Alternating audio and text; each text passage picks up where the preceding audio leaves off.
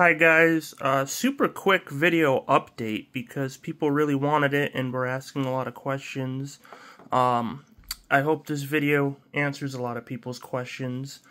So, we really know now how to really build the transmitter as energy efficient as possible. And this is an explanation video of the math behind it, the principle, the theory, why and why it's the best so far.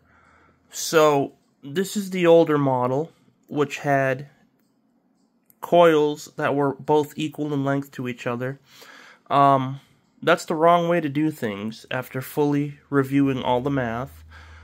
So, the correct way to do things, and why this is so efficient, is I'm building this new transmitter right now, and I figured I'd make this video real quick and answer all the questions. Um, so it's basically a two coil transmitter, and it's wired exactly like a Joule Thief, except the we we make it air core, so it's hyper efficient. And the reason it's so good, in theory, is we correctly wound the L1 coil. This is 28 gauge. And the L1 coil, we want it to be exactly a quarter wave of the L2 power coil that'll do all the work for us. Um, this is just our trigger coil. It's an L1 trigger coil. We want it to be exactly a quarter wave to the coil we wind over this. And this is 28 gauge. It'll be a third a it'll be a third the the full length of our um, high Q coil that will be wound over this in the opposite direction. So the L2 coil will be 20 gauge wire just because it's a good balance of high quality wire um, that gives you a high Q factor and it's easy to work with. And your L2 power coil has to be wound in the opposite direction to your L1 trigger coil. When you wind your L2 power coil in the opposite direction to your L1 trigger coil that gets your transistor into oscillation, um, what happens is you set up a very powerful standing wave, a standing quarter wave resonance between the L1 trigger coil and the power coil.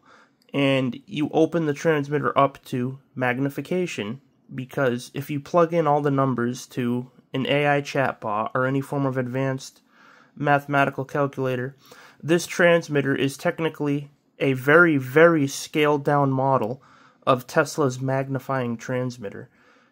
And now, why would Tesla, who has invented countless different apparatus and inventions throughout his entire life, including the Tesla valve, I don't think he would have the audacity to name something a magnifying transmitter if it couldn't truly magnify power. So, being that both coils on this device are as wide as they are tall for maximum Q factor. We're already in a very good spot for um, wireless power effects and amazing phenomenon to occur.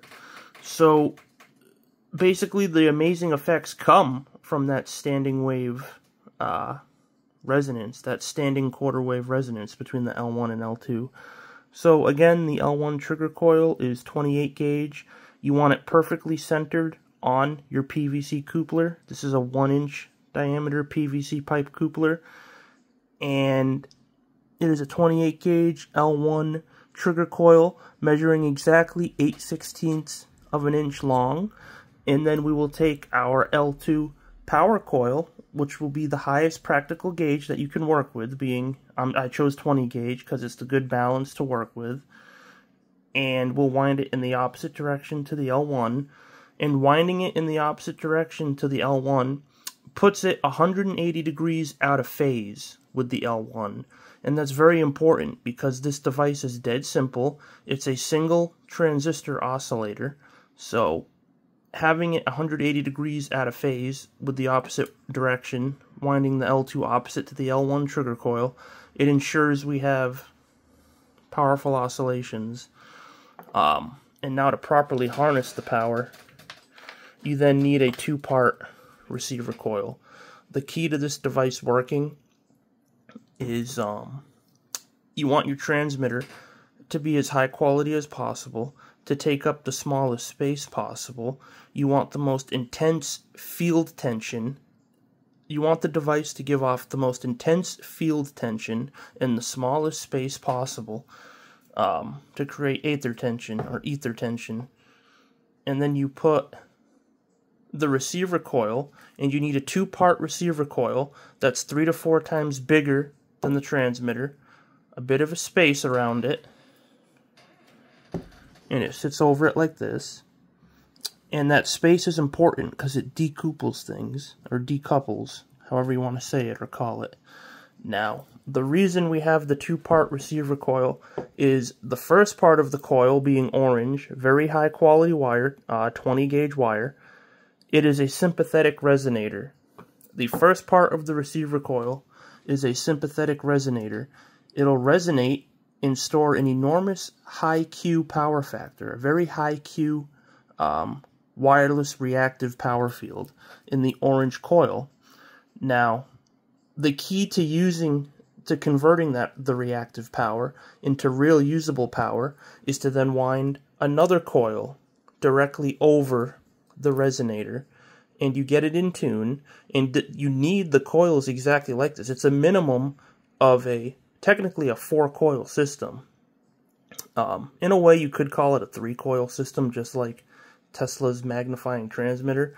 So we're building a mini magnifying transmitter here and really you can almost say you want to ignore in a way you can kind of ignore the L1 because the L1 just sets up a perfect quarter wave trigger to get the L2 power coil that I didn't wind yet. This is how the L2 power coil will look. Very high quality. Um, the L1 trigger coil just serves to get the L2 power coil into perfect, efficient resonant oscillation. So once that occurs, you put your correct receiver coil over it. And again, it's a resonant style cage receiver coil. And you want it bigger than the transmitter because space dilutes energy and we want to capture all the power possible around the device. Um, and again, the high Q inner coil sets up a sympathetic resonance and you need the extra coil wound over the receiver coil to tap the massive amount of reactive power that the inner coil builds up and you can just do phenomenal things with it. The output so far from what I've tell can be equal to your transmitter's input. When you run heavy loads from here, um, power consumption from the transmitter will even drop. So this is in theory the best design because it's air core, the most efficient, single transistor driven. We can make it hyper efficient. Put a uh, certain components on it to make it even more efficient using um, using that little diode there. I always forget the name of it, but that's a good look at it. And that's just our biasing resistor.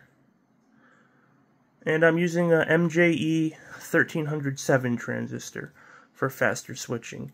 Gonna eventually switch to a BUL 49 something. It's the one of the fastest transistors you can get. It, then you'll have to transition to a MOSFET to get even faster. But um, yeah, and we also perfected the energy synthesis equations um, from Eric Dollard. So again, I explained the theory, how it works. People were asking questions, and you always ground the bottom the bottom leg of your L L2 coil, your L2 power coil. So L1 trigger coil, 8 16ths of an inch long. Um, it's the L1 trigger coil.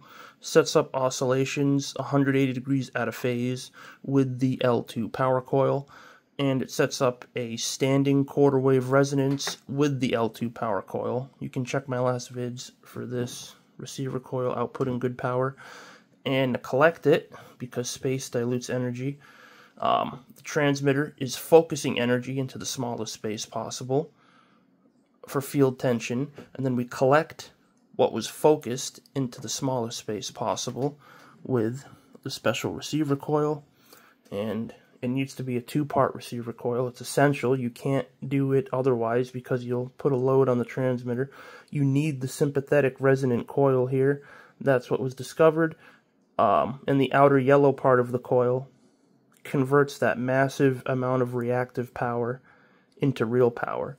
And while this receiver coil outputs power equal to the transmitter's input power, you still have phenomenal loadless wireless power effects that will light up these little LED receiver lights, not put a strain on the transmitter. Um, and you can also put distant receiver coils nearby, tune it with a ferrite rod, and get it to output a little bit of power. So, hopefully that answered some questions. Um, this is the way forward. Much more efficient than winding the coils on a ferrite, because it's air core. And yeah, I hope that answers people's questions. So feel free to like, comment, subscribe. I'm currently rebuilding the best transmitter possible. And I hope that answers everyone's questions. And again, you need every part of this system built exactly the way I said um, the print for the principles to work.